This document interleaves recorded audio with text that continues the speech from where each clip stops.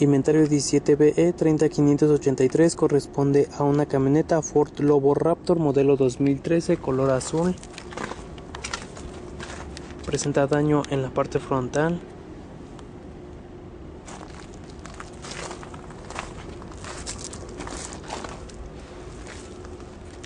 Daño también en su costado y en la suspensión delantera al lado derecho. Suspensión se encuentra totalmente arrancada. Alcanzamos a ver ambas puertas dañadas y su faldón, lado derecho. En un momento pasamos a detalle, pasamos a la parte frontal.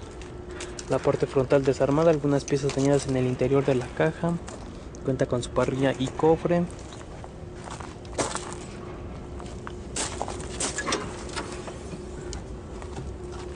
Su motor aparentemente completo, cuenta con su batería, computadora de motor, cuenta con su portafiltro de aire, caja de fusibles, sus depósitos,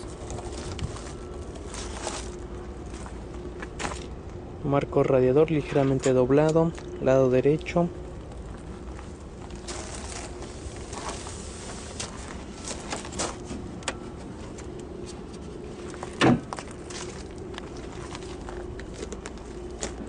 Pasamos a su costado izquierdo, cuenta con rines de aluminio, rines tallados, llantas desgastadas, un 30% de vida, el parabrisas estrellado, puertas del lado izquierdo presentan ligeros rayones igual que el espejo.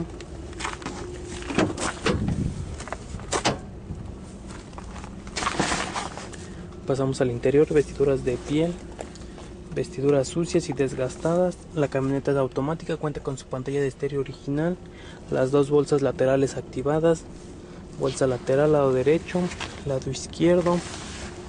También se encuentra activada bolsa del asiento, delantero derecho, toldo interior doblado y roto.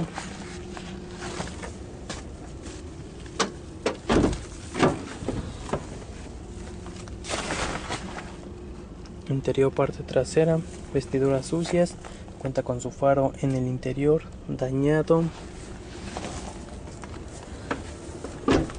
Caja batea del lado izquierdo tallada, su calavera izquierda rota, su defensa trasera al lado derecho doblada igual que su moldura, tapa de la caja doblada, le hacen falta sus emblemas. Interior de la caja alcanzamos a ver el ring, la llanta dañados, algunos componentes.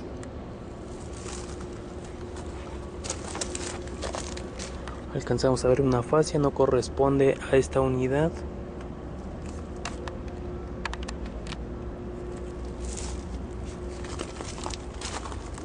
Caga batea como se encuentra dañada, lado derecho, su defensa. No cuenta con llanta de refacción.